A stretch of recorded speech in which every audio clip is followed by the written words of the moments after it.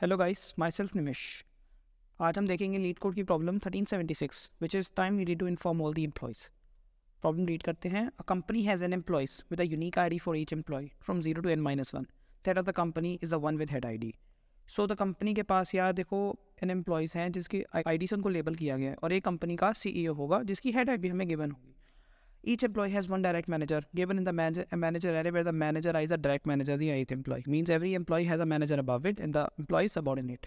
तो manager of head ID is minus one. It's but obvious because CEO के ऊपर कौन सा ही manager होगा.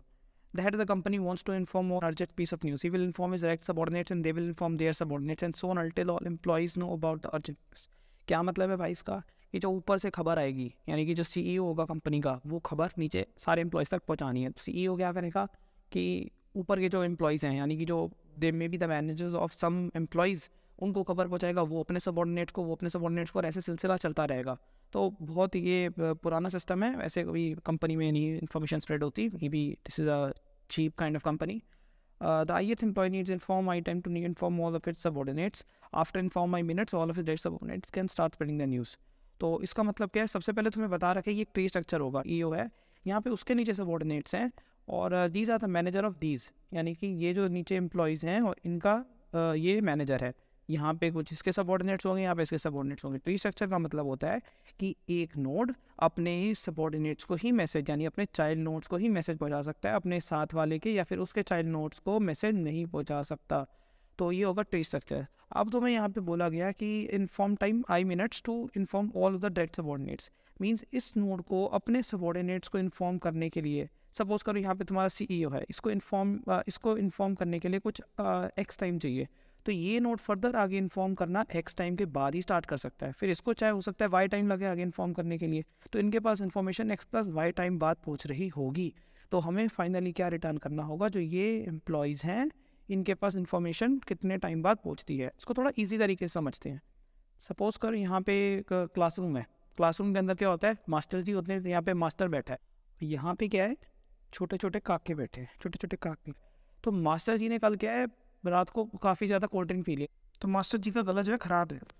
तो मास्टर जी क्या चलाकी करते हैं? मास्टर जी को सारी क्लास की अनाउंसमेंट पहुँचानी है तो वो क्लास के फ़र्स्ट बेंचेस को इन्फॉर्मेशन पास कर देते हैं। और कहते हैं कि तुम खुद जाओ और सारे बेंचेस पे जाके इन्फॉर्मेशन पहुँचा के आओ, जैसे ये ये ये और ये।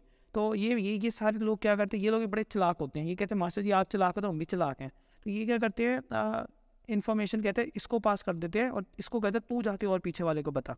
तो ये भी यही करता है, ये खुद नहीं चाहता, ये भी इसको बताता है। फिर ऐसे करते करते करते इन्फॉर्मेशन लास्ट बेंचेस तक पहुँचती है और ये काम हर रूम में होता है। Till the information gets pass to the complete class तो असेंशली ये जो न्यू अप्रोच यूज़ हो रही है वो डी एफ़ एस है। अब डी एफ़ एस क्या होता है? डी एफ़ एस को बोलते हैं, भाई ढूंढो फिर से, ढूंढो फिर से, यानी कि आगे तुम ढूंढो। कुछ पढ़े लिखे लोग उसको डेप्थ फ़र्स्ट सर्च भी कहते हैं। जब इसको इन्फॉर्मेशन पहुँची, इसने अपना बता दिया कि मेरे को इतनी देर बाद इन्फॉर्मेशन पहुँची है ये जाके इसको देगा इन्फॉर्मेशन फर्दर ये अपना कुछ टाइम लेगा ये आगे इन्फॉर्मेशन कम्युनिकेट करेगा। ऐसे करके करते ला, सारे लास्ट बेंचेस के पास इन्फॉर्मेशन पहुँच जाएगी। और फाइनली तुम ये चीज़ बताओ सबसे ज़्यादा टाइम इन्फॉर्मेशन पहुँचने में किसके पास लगेगा? सोच के बताओ। डेफिनेटली लास्ट बेंचेस के पास सबसे ज़्यादा टाइम सबसे देर बाद इन्फॉर्मेशन पहुँचेगी। क्यों पहुँचेगी? क्योंकि इनके पास होते भी लास्ट बेंचेस के पास जाएगी। सीक्वेंस में चल रहा है ना? तो जो सारे लास्ट बेंचर है, जिस लास्ट बेंच है वह सबसे ज़्यादा टाइम बाद इन्फॉर्मेशन जाएगी, उसका टाइम हम रिटर्न कर देंगे. That will the total time taken to pass the complete information to the whole class ठीक है यार?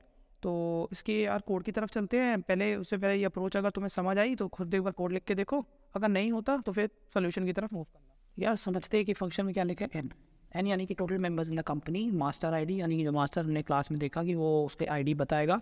दोस्त दोस्त एक वेक्टर होगा यहाँ पे जो कि हमें कनेक्शन बता रहा होगा इंडायरेक्ट वे में। यहाँ पे ज़ीरो टू से कनेक्टेड है वन भी टू से कनेक्टेड है टू आपस में किसी से भी कनेक्टेड नहीं क्योंकि मास्टर है। थर्ड यानी कि टू से कनेक्टेड है फोर्थ यानी टू से कनेक्टेड है फिफ्थ भी टू से कनेक्टेड है। यानी कि दोस्त वेक्टर जो होगा, वो दोस्तियाँ दिखाएगा। मतलब कि एक स्टूडेंट का, एक काके का, किस काका से उसको मैसेज आ रहा है? जैसा हमने समझा था अभी डायग्राम के अंदर। तो यहाँ पे एडजेसेंसी लिस्ट क्रिएट करेंगे हम list int star L initialize कर दिए यहाँ पे इसको और यहाँ पे L equal to new list int ten यानी कि जितने मेंबर्स हैं कंपनी में, उतने करेक्शन में मैक्सिमम हो सकते हैं। तो एन से इनिशियलाइज कर देंगे। फिर हम एक लूप चलाएँगे, दोस्त वैक्टर को हम ट्रेवर्स करेंगे यहाँ पे। हम कहेंगे दोस्त I not equal to minus one अगर ये माइनस वन नहीं है इन दैट केस दोस्त के आई में हम एक कनेक्शन डाल देंगे।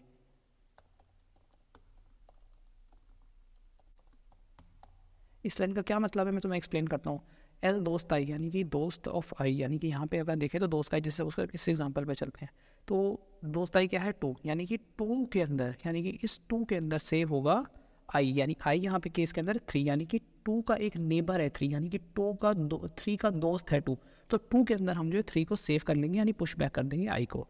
ये दोस्त I not equal to minus one इसलिए, क्योंकि जिसका दोस्त माइनस वन है, यानी कि उसका कोई दोस्त नहीं है, यानी कि टू का कोई दोस्त नहीं because two is the master ji. Master ji को कौन इन्फॉर्मेशन बता रहे हैं? उनको तो इन्फॉर्मेशन पहले से ही पता है।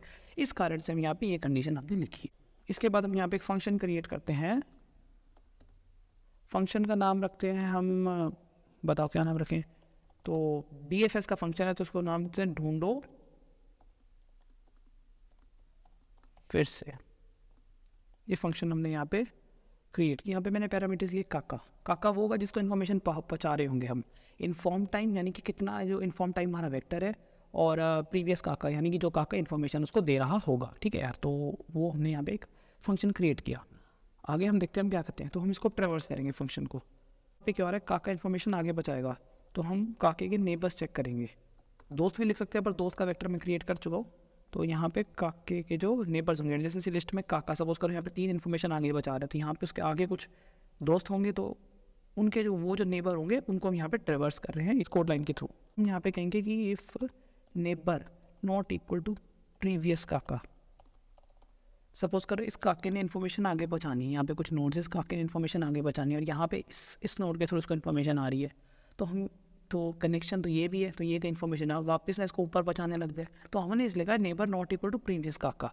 अगर ये कंडीशन ट्रू होती है तो हम जो है यहाँ पे लिखेंगे कि स्टेटमेंट क्या लिखेगी रिज़ल्ट ऑफ़ नेबर थ्री जिसको आगे इन्फॉर्मेशन सपोज़ करो, यहाँ पे पहुँचा रहा है। इस एग्ज़ाम्पल में थ्री जिसको भी इन्फॉर्मेशन पहुँचा रहा है, उसका जो टाइम लगेगा उस तक इन्फॉर्मेशन पहुँचने में, वो टाइम कितना होगा? जितना टाइम थ्री तक लगा इन्फॉर्मेशन पहुँचने में प्लस थ्री आगे इन्फॉर्मेशन उसको कितनी देर में प्रोपागेट कर देगा?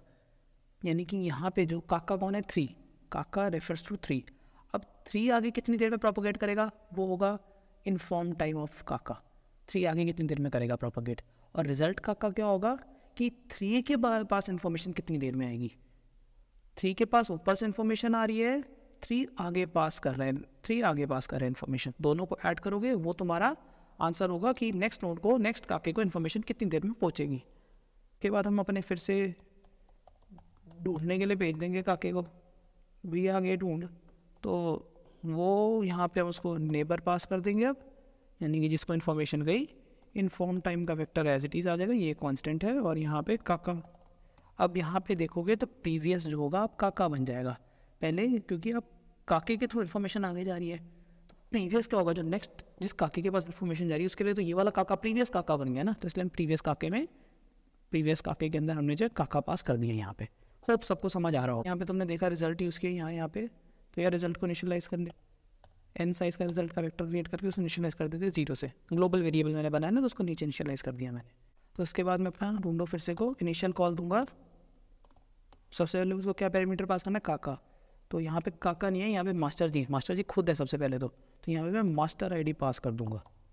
काका की आईडी नहीं मास्टर की आईडी पास कर। सबसे पहले तो इन्फॉर्मेशन मास्टर जी के पास ही है ना। इन्फॉर्म टाइम का वेक्टर जैसे कि मैंने बताया कांस्टेंट है, और उसके बाद मैं यहाँ पे माइनस वन पास करूँगा प्रीवियस मास्टर जी का प्रीवियस कौन है? कोई भी नहीं। मास्टर जी के पास सारी ताकत है, खुद इन्फॉर्मेशन रख के बैठे हैं सारी तो वो माइनस वन होगा उनका प्रीवियस ठीक है? फाइनली यहाँ पे हम आंसर वेरिएबल बना सकते हैं, और जो तुम्हारा रिज़ल्ट एरे है, उसके अंदर सारे जितने भी काके हैं, उनके पास कितना टाइम लगता है इन्फॉर्मेशन पहुँचने के लिए, वो इस रिज़ल्ट एरे के अंदर स्टोर्ड है। तो हम क्या करेंगे? एक फ़ंक्शन यूज़ करेंगे। Answer is equals to evaluate maximum element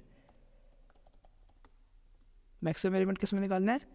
Result dot begin end result dot end से बीच। यानी कि यहाँ पे ये पूरे रिज़ल्ट एरे को स्कैन करेगा, ये फ़ंक्शन ऑटोमेटिकली मैक्सिमम एलिमेंट तुम्हें निकाल देगा। तो फाइनली हम जो है रिटर्न कर रहे होंगे आंसर को।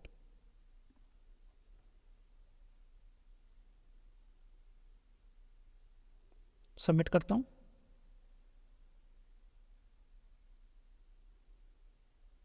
तो हो गया यार सबमिट क्या ही था क्वेश्चन में? एक्सप्लेन इतना बढ़िया किया तो समझ तो आ ही जाना था। Thank you